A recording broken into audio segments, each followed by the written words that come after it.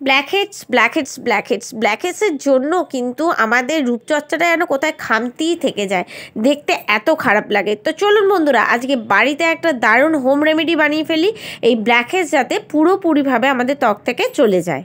নমস্কার বন্ধুরা welcome back to the channel Piyali's beauty hub কেমন আছেন আপনারা? আশা করি আপনারা সকলে ভালো আছেন, সুস্থ আছেন। বিউটি রিলেটেড ভিডিও নিয়ে চলে এলাম প্রতিদিনের মতন আপনাদের সকলের সামনে। তো বন্ধুরা, আমাদের নিয়মিত রূপচর্চা কিন্তু বিশেষ করে শীতকালের দিকে করতেই হয়। নাহলে কিন্তু ত্বকে নানা ধরনের সমস্যা দেখা দিতে থাকে। তার মধ্যে মেন সমস্যা হচ্ছে ব্ল্যাক হেডসের সমস্যা। বিশেষ করে নাকের এই পোর্শানগুলো থুতনির এই পোর্শান অনেকে কপালের দিকটাও কিন্তু ব্ল্যাক হেডস ভীষণভাবে ত্বককে মানে নষ্ট করে দেয়। আর যেটা দেখতে ভীষণ খারাপ লাগে, যদি নাকের ওপর এরকমটা কালো কালো ডট ডট, অনেকের আবার ব্ল্যাক হেডস না হয়ে হোয়াইট হেডসের প্রবলেমও হতে পারে। এই প্রবলেমগুলো দেখতে ভীষণ খারাপ লাগে। তার ফলে কিন্তু নানা ধরনের সমস্যা। কিন্তু বন্ধুরা ব্ল্যাক হেডস কিন্তু মানে একদিনের ক্ষেত্রে হয় না। ব্ল্যাকহেডস কিন্তু ধীরে ধীরে অনেক দিন ধরে নোংরা জমে জমে, বিশেষ করে এই টি জোনে আমাদের নাকের এই পোর্শানগুলো বা থুতনির পোর্শানে বেশি ঘামটা জমে। যার ফলে নোংরাগুলো অ্যাট্রাক্ট হয়ে গিয়ে তেল যে অয়েলগুলো বেরোয় তার সাথে বিভিন্ন ব্যাকটেরিয়া সব মিলিয়ে গিয়ে এই ব্ল্যাকহেডস বা হোয়াইট হেডসগুলো হয়ে থাকে, যেটা দেখতে ভীষণ খারাপ লাগে। এক্সপোলিয়েশন বা স্ক্রাবিংয়ের ভীষণ জরুরি। অন্তত সপ্তাহে দুদিন তো মিনিমাম স্ক্রাব করতেই হবে, করে এইগুলো পরিষ্কার করা তা খুব জরুরি। কিন্তু বন্ধুরা পার্লারে গিয়ে স্ক্রাব করে মানে এই যে ব্ল্যাকহেডসগুলো দূর করা, এটা কিন্তু অনেক খরচা সাপেক্ষ, যেটা সাধারণ মধ্যবিত্ত ফ্যামিলিতে পসিবল হয় না। কিন্তু বন্ধুরা, আমরা এমন কিছু হোম রেমেডি আছে, সেই হোম রেমেডির সাহায্যে যদি ঘরোয়া ঘরে বসেই একটু কিছু জিনিস বা একটু সময় ব্যয় করি, তাহলেই কিন্তু যথেষ্ট ভালো একটা রেজাল্ট আমরা পেয়েই যাব। তাতে কিন্তু কোনো সন্দেহ নেই। তার জন্য আমাদের একটু সময়, অন্তত পাঁচ থেকে দশ মিনিট সময় দিনের মধ্যে দিতে হবে। সপ্তাহে মাত্র দুদিন। এটা যদি কন্টিনিউয়াসলি করি, আমরা দেখব নাকের যে প্রসানের প্রবলেমগুলো সেগুলো অনেকটাই দূর হয়ে যাবে, মুখটা আরও ক্লিন পরিষ্কার লাগবে। তো বন্ধুরা আজকে এরকমই একটা হোম রেমেডি নিয়ে চলে এসেছি আপনাদের সামনে। আমি এর আগেও করেছি, আমি দেখুন আমার নাকের পোর্শনে কিন্তু সেইভাবে কোনো ব্ল্যাকহেডসের খুব একটা প্রবলেম কিন্তু নেই। এইটা ঘরোয়া করে করে কিন্তু আমার প্রবলেম অনেকটা রিমুভ হয়ে গেছে। আমি উইকলি দুবার এটা ইউজ করি, একবার আমার ইউজ করা হয়ে গেছে, আবার টাইম এসে গেছে, সেই জন্য ভাবলাম এই ভিডিওটা আপনাদের সাথে আমি শেয়ার করব, কীভাবে আমি নাকের ব্ল্যাকহেডসগুলো ঘরোয়া উপায় পরিষ্কার করে থাকি। তো ভিডিওটা দেখার জন্য ভিডিও লাস্ট পর্যন্ত থাকতে হবে, ভিডিওটাকে তিনটে স্টেপে আমি ভাগ করেছি। তিনটে স্টেপ কিন্তু আপনাদের অবলম্বন করতে হবে। কোনো স্টেপ স্কিপ করা যাবে না। তাহলে কিন্তু রেজাল্ট পজিটিভলি আপনারা পাবেন না।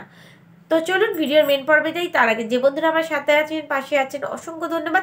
যারা বন্ধুরা প্রথম স্টেপে আমি গরম জল নিয়ে নিয়েছি। গরম জলের মধ্যে একটা রুমাল আমি ভালো করে ভিজিয়ে নিয়েছি। ভিজিয়ে নেওয়ার পরে যে পোর্শনগুলো ব্ল্যাকহেডসের সমস্যা আছে সেই পোর্শনগুলোতে কিন্তু প্রেস করে করে গরম জলটা আমি লাগাচ্ছি। মোটামুটি এক মিনিটের মতন এই প্রেস করে করে গরম জলটা এখানে ইউজ করতে হবে। ইউজ করার পর আমি সেকেন্ড স্টেপে চলে যাব।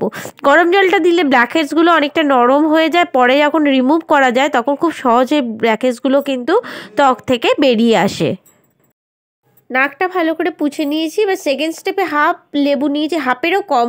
তার মধ্যে দিয়ে দিলাম নারকোল তেল দিয়ে নাকে যে জায়গাটা আছে ব্ল্যাকেজগুলো সেই জায়গাটা ভালো করে আমি ইউজ করছি। দেখুন, ভালোভাবে ইউজ করছি। এতে কিন্তু নাকটা আমি পরিষ্কার করে নিচ্ছি। পরিষ্কার করে নেওয়ার পরে যখন আমি একবারে লাস্ট স্টেপটা করব, তখন কিন্তু ব্ল্যাকেজগুলো একদম পরিষ্কারভাবে রিমুভ হয়ে যাবে।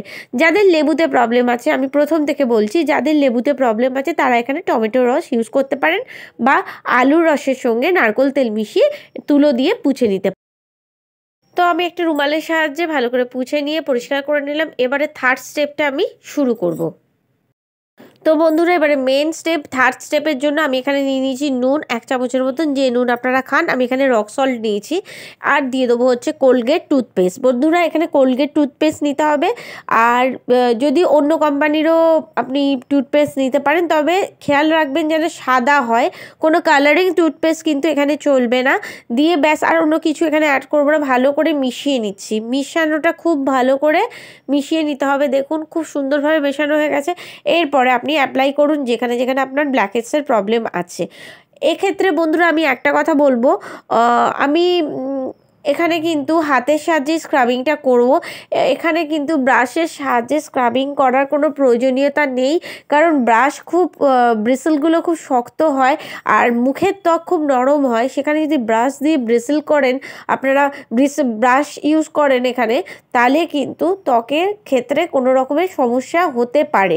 সেই কারণে আমি আপনাদের সাজেস্ট করব ব্রাশটা এখানে ইউজ না করাই ভালো। এইভাবে ধীরে ধীরে এক মিনিট ধরে হাতের সাহায্যে কিন্তু পরিষ্কার করে নিলেই ব্ল্যাকহেডসগুলো কিন্তু সম্পূর্ণভাবে রিমুভ হয়ে যাবে। তো বন্ধুরা দেখুন, এইভাবে আমি ম্যাসাজ করে নিচ্ছি। করে নেওয়ার পরে এক মিনিট পর আরও এক মিনিট নাকের ওপর এই প্যাকটা লাগিয়ে রাখব। তারপরে ভালো করে হালকা উষুধ উষ্ণ জল দিয়ে পরিষ্কার করে নেব।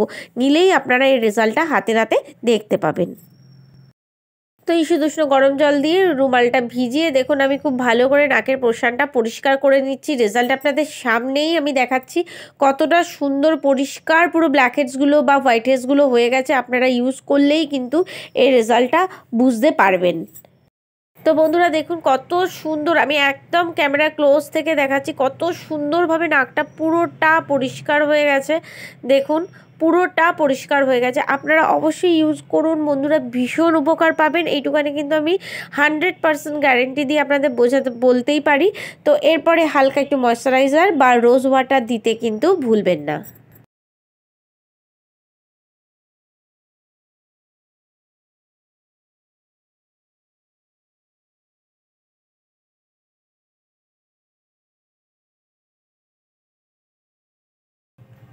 তো বন্ধুরা বলুন, কত সুন্দরভাবে পরিষ্কার হয়ে গেছে, দেখে আপনারা বুঝতেই পেরেছেন। একদম ক্লিন কোনো কিছু ফিল হচ্ছে না, একদম সফট সফট হয়ে গেছে এই জায়গাগুলো। একদম সফট হয়ে গেছে। কোনো হার্মফুল ব্যাপার নেই। ত্বক কিন্তু ভালো কাজ হবে। অবশ্যই একটু ময়শ্চারাইজার হালকা করে লাগিয়ে দেবেন এই প্যাকটা ইউজ করার পর। বন্ধুরা, আপনারা বাড়িতে করুন ইউজ করুন আর আমাকে জানাতে ভুলবেন না। আশা করি আজকের ভিডিও আপনাদের উপকারে লাগবে। তো আজকের মতন বিদায় দিচ্ছি আবার নতুন কোনো ভিডিওর সাথে আমি আপনাদের বন্ধু পিয়ালি ঠিক এসে হাজির হয়ে যাব আপনাদের সকলের সামনে। সকলে ভালো থাকবেন, সুস্থ থাকবেন, সাবধানে থাকবেন। এই কামনা করে আজকের ভিডিও এখানেই শেষ করল নমস্কার বন্ধুরা।